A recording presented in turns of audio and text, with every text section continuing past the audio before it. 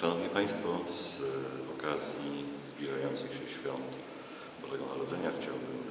w imieniu własnym, ale też zarządu Rady Powiatu Lubańskiego złożyć jak najserdeczniejsze życzenia, by te święta były wypełnione czasem dobroci, spotkań rodzinnych, wzajemnego łamania się ławkiem, też te pamięci o tych, których przy naszych stołach już nie ma. A w nadchodzącym nowym roku życzę Państwu, aby te marzenia, które Państwu e, się namarzą, spełniły się w